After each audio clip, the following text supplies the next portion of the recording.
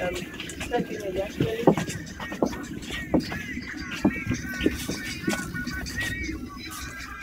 un buen amigo.